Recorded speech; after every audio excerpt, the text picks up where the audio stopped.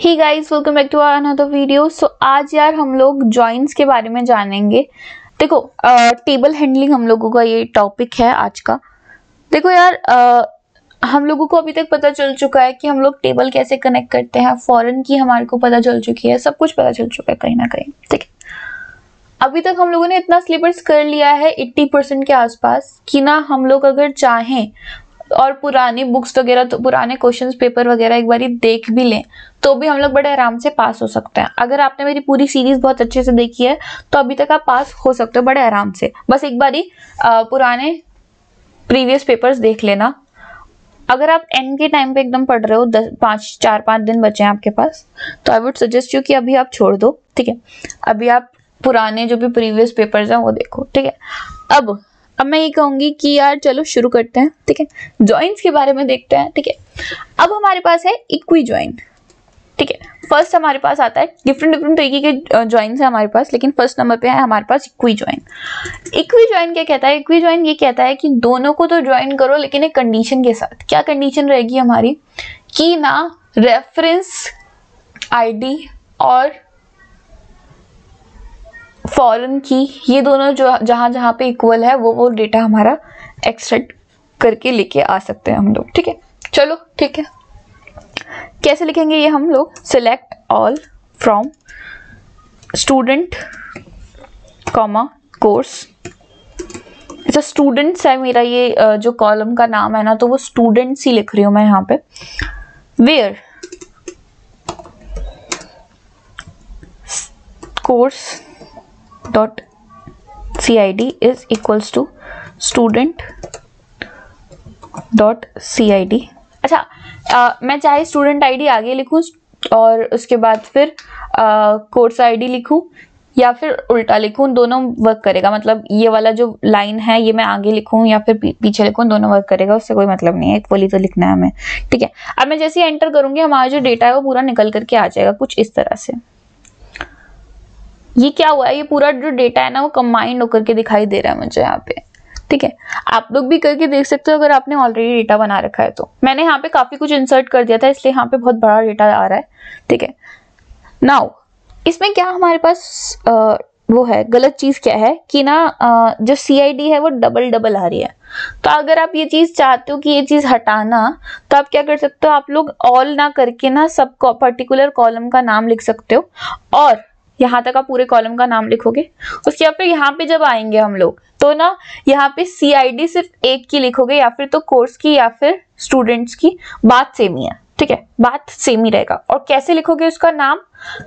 ऐसे कुछ डॉट लिख के। डॉट का यहाँ पे क्या मतलब है? कि स्टूडेंट की सी आई डी और कोर्स की सी आई डी ठीक है? समझे ये चीज़? तो ये चीज़ आप करके खुद से कर सकते हो। अब ये चीज़ जब हमने की तो इतनी देर में हमें ये भी समझ में आ कि नेचुरल ज्वाइन क्या होता है। नेचुरल ज्वाइन और equi join both are same both हमारी ये कंडीशन से चलती है, ठीक है? लेकिन इसमें बस ये बताता है वो कि जो फॉरेन की है, वो डेटा जो है, वो डबल डबल नहीं होना चाहिए। तो डबल डबल ना करने के लिए हम लोग डायरेक्टली कॉलम्स का नाम देके हम लोग चला रहे होते हैं। तो ये चीज़ आप खुद भी कर सकते हो होप आप कर लोगे। नाउ अब हमारे पास है नया एक और तरीके का join which is outer join outer join क्या कहता है? आउटर ज्वाइन ये कहता है कि हमारे अगर किसी एक पर्टिकुलर कॉलम के अंदर नल लिखा हुआ है, ठीक है?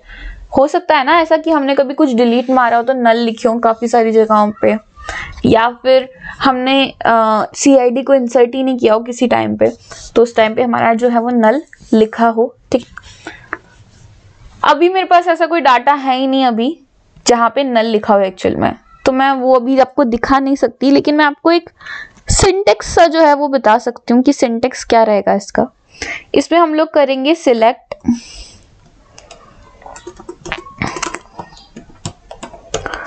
ऑल या फिर सिलेक्ट जो भी कॉलम्स के नाम रहेंगे, आप अपनी मर्ज़ी से कुछ भी कर सकते हो। मैं यहाँ पे ऑल लिख रही हूँ। From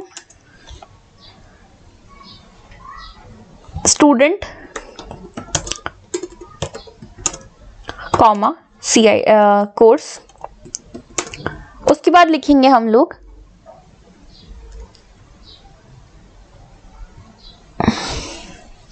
O M so sorry मैंने क्या लिखवा दिया यार? शिट शिट शिट शिट अच्छा ये वाली चीज़ ही मैं कह रही थी कि गाइज़ अगर हम लोग ऐसी नॉर्मली लिख देंगे तो ये हमारा कुछ अजीब सा डेटा आ जाएगा। ये होता है क्या है? ये कार्सेडियन प्रोडक्ट है। हमने पढ़ा था ना कार्सेडियन प्रोडक्ट के बारे में पहले। तो ये कुछ वो ही हमारा दिखा रहा है। देख रहे हो कितनी सारी रोज दिखा रही है। इतनी हमें क्या करनी है इतनी रोज का। तो इस वजह से हम लोग ये कॉमा करके नहीं लिखते हैं, ठीक है? अभी हम लोग क्या कर रहे हैं? अभी हम लोग को सीखना था आउटर ज्वाइन ज्वाइन ठीक है? आउटर ज्वाइन के बारे में हम लोगों को सीखना था। तो आउटर ज्वाइन का सिंटेक्स कुछ इस तरह का था। Select all from student and उसके बाद हम लोग लिखते हैं एक कीवर्ड वो जो रहेगा लेफ़्ट आउटर ज्वाइन उसके बाद फिर हम लोग लिखेंगे दूसरे टेबल का नाम, ठीक है? जो कि यहाँ पे इन दिस केस है कोर्स उसके बाद फिर हम लोग लिखेंगे वेयर वाला, वही वाला जो हमारा सिंटेक्स था where C I D is equal to this ठीक है? उसके बाद फिर एंटर दबाएँगे। जैसे हम लोग एंटर दबाते तो हमारा दिखाई दे जाता लेकिन यहाँ पे मेरे पास कुछ नल वाला डेटा था ही नहीं इस वजह से कोर्स जो है ना ये दोनों आ, नहीं हुए हमारे वर्क नहीं करा ये वाली चीज़। बाकी बुक के अंदर हो सकता है ये सिंटेक्स जो है हमारा वो वर्क ना कर रहा है आई थिंक सो ये सिंटेक्स वर्क नहीं कर रहा है मेरा। नहीं नहीं नहीं नहीं नहीं नहीं सॉरी मेरे को स्टूडेंट्स की स्पेलिंग गलत लिख दी फिर से मैंने। मैं क्यों करती हूँ ये चीज़? स्टूडेंट्स की स्पेलिंग क्यों गलत लिखती हूँ मैं बेचारे? स्टूडेंट्स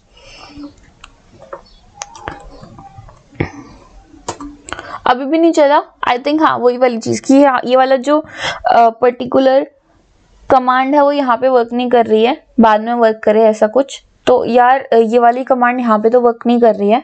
इसका कोई ऑल्टरनेटिव होगा तो मुझे दिखाई देगा तो मैं बता दूँगी एक साथ के साथ। लेकिन अब जब कोर्स अपने एग्ज़ाम के अंदर लिखोगे तो यही वाला सिंटेक्स लिख के आना वहाँ पे, जिससे ये वर्क करे, ठीक है? आई थिंक या फिर हम लोग ये चीज़ ट्राई करके देखते हैं एक बारी कोर्सेज का नाम लिख के देखते हैं कि क्या पता कोर्सेज का नाम लिखने से ये जो है वो वर्क कर जाए। एनरोल hmm, ठीक है। कॉमा फ़र्स्ट नेम लिख देती हूँ। कॉमा उसके बाद फिर ये वाली चीज़ें छोड़ देती हूँ मैं बाकी की फालतू चीज़ें छोड़ देती हूँ ठीक है। मोबाइल नंबर एंड मुझे मोबाइल नंबर लेट से देखना ही नहीं है। उसके बाद फिर मैं लिख देती हूँ student ID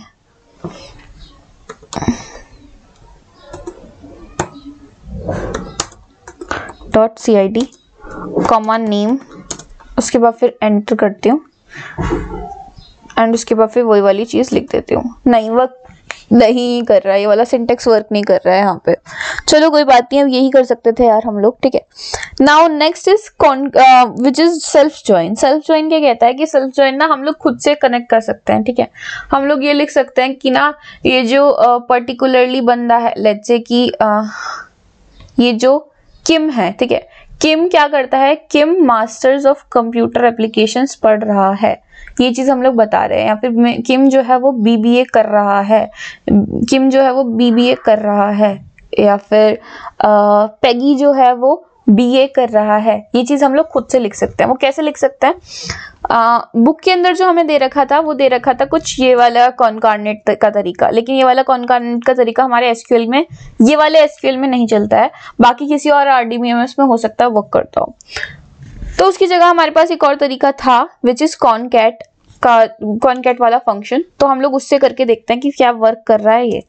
सिलेक्ट कॉनकैट उसके बाद फिर हम लोग लिखेंगे वन का नाम, ठीक है let's say first ID first name sorry उसके बाद फिर लिखेंगे कॉमा उसके बाद फिर लिखेंगे स्टडी स्पेस भी छोड़ देते हैं क्योंकि स्पेस रहेगा तो अरे shit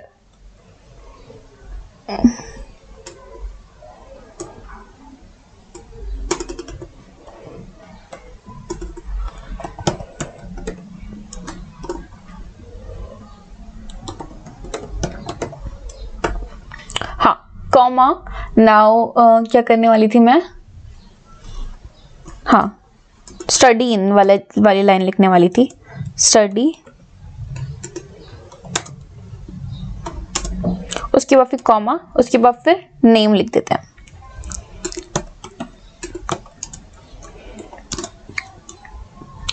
from student comma course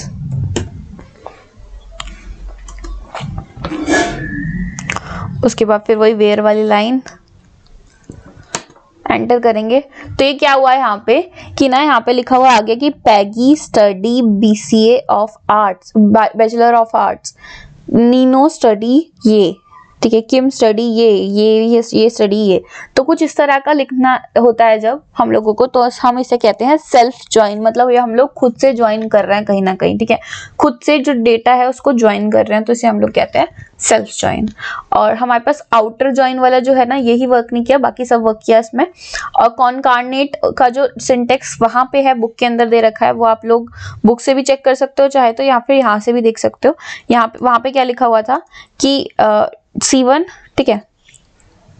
और उसके बाद फिर ये वाली लाइन उसके बाद फिर स्पेस वर्क्स बुक कॉपी में जब हम लोग लिखेंगे ना यार जब पेपर में लिखेंगे और इनके समय कॉन्कार्नेट करना होगा तो हम लोग इसी तरह से लिखेंगे, ठीक है? ये वाला सिंटेक्स लिखेंगे कुछ। उसके बाद फिर फ्रॉम स्टूडेंट्स एंड उसके बाद फिर वेर वाली लाइन ठीक है? होप आप लोगों को गाइस ज्वाइन वाला जो ये है, वो समझ में आ चुका होगा। ज्वाइन हम लोग कैसे टेबल्स को कर सकते हैं, ये चीज़ आपको समझ में आ गई होगी। नाउ हमारे पास फिर से रिवाइज करते हैं। फोर तरीके के ज्वाइन होते हैं। Number one is equi join and number two is natural join जो दोनों की दोनों हमारे कैसे वर्क करते हैं सिंपली हम लोग डेटा को देते हैं आ, मतलब सेलेक्ट ऑल करते हैं एंड उसके बाद फिर वेयर वाली लाइन की वजह से वर्क करते हैं। कंडीशन देते हैं हम लोग कि इक्वल होने चाहिए फॉरन की एंड रेफरेंस की। आउटर ज्वाइन कैसे वर्क करता है? आउटर ज्वाइन एक आउटर ज्वाइन मीम का एक कीवर्ड है उससे यूज़ उसे यूज़ करके हम लोग ज्वाइन कर सकते हैं। आउटर ज्वाइन में क्या स्पेशलिटी है? आउटर ज्वाइन में ये स्पेशलिटी है कि इनकेस हमारा जो फॉरेन की या फिर रेफरेंस की का जो हमारा वैल्यू फॉरेन की की जो वैल्यू है वो नल अगर हमारी लिखी हुई है कहीं पे तो हम लोग वो आ, वाला डेटा जो है वो भी फेच करके लेके आ सकते हैं। बस वहाँ पे जो कोर्सेज वाली प्लेसेस हैं, वहाँ पे हमारा नल लिखा हुआ रहेगा। Now next is self join self join हम लोग कैसे करते हैं? जहाँ पे हम लोग खुद से कॉन्कारनेट करके डेटा को वैसे लिख रहे हैं तो हम लोग उसे कहते हैं सेल्फ ज्वाइन होप आप लोगों को यार इतन सब कुछ यार जो है ना, वो क्लियर हो गया हो। अगर हो गया है तो प्लीज़ यार लाइक शेयर एंड सब्सक्राइब कर दीजिएगा। और आई थिंक यार हमारा जो ये पूरा चैप्टर है कहीं ना कहीं ख़त्म होने वाला है। तो अगर आपको मेरी पूरा ये वाला जो चैप्टर है वो अच्छे से समझ में आया है तो कहीं ना कहीं आपको काफ़ी सारे जो मार्क्स मार्क्स है ना वो हमारे बढ़ गए हैं सिर्फ़ इसी की वजह से, क्योंकि 10 से 15 मार्क्स का चैप्टर सिर्फ़ और सिर्फ़ यही था हमारा मेन यही था हमारा। तो होप आप लोगों को पसंद आई हो सब कुछ। That's guys